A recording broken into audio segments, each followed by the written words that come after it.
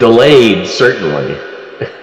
you know, I mean, stranded sounds like you're in a lifeboat in the middle of the Pacific, you know, with, you know, two ounces of water and no food. They've got water, food, air. Station is a very well supplied place these days.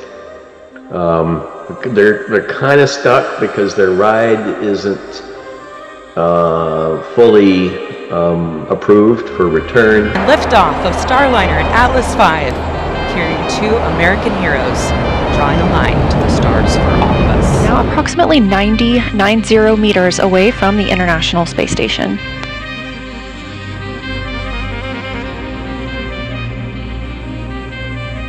And we are coming up on 30 meters from the International Space Station, getting a beautiful view now of Starliner. Ignition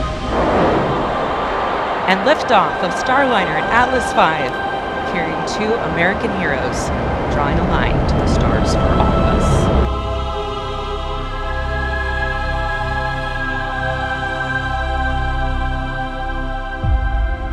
And we are coming up on 30 meters from the International Space Station, getting a beautiful view now of the star.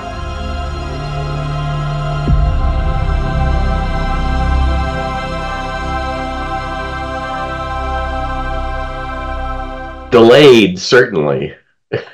you know, I mean, stranded sounds like you're in a lifeboat in the middle of the Pacific, you know, with, you know, two ounces of water and no food. They've got water, food, air. Station is a very well supplied place these days.